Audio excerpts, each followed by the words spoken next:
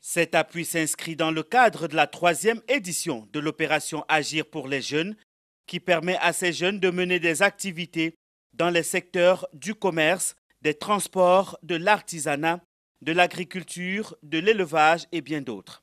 À cette occasion, le ministre du Commerce, Souleymane Diara Souba, représentant le ministre Touré Mamadou de la promotion, de la jeunesse et de l'emploi des jeunes, et le ministre gouverneur Augustin Thiam, parrain de la cérémonie, ont rappelé aux récipiendaires que le programme Agir pour les jeunes est le meilleur moyen pour aider les jeunes à être de vrais entrepreneurs. Notre priorité, c'est celle qui permet de soutenir nos jeunes afin qu'ils deviennent des vrais, vrais entrepreneurs.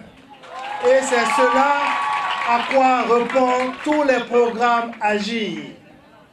À l'effet que tous ces soutiens qui vous sont apportés aujourd'hui, de 100 000 francs à 1 million de francs CFA, que vous puissiez en faire bon usage, que vous puissiez financer vos différentes activités génératrices de revenus. Heureux de recevoir ces chèques, les récipiendaires n'ont pas manqué d'exprimer leur satisfaction. Aujourd'hui, c'est un sentiment de joie qui m'anime.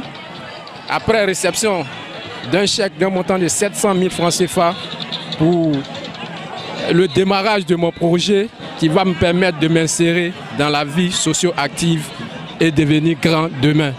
Ça n'a pas été facile. J'ai fait Agir 1, j'ai fait Agir 2. La persévérance a payé aujourd'hui. Agir 3 euh, a payé.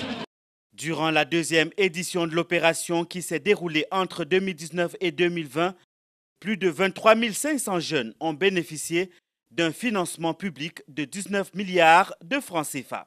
Cette troisième phase se veut le prolongement de Agir 2 et vise à financer plus de 100 000 jeunes.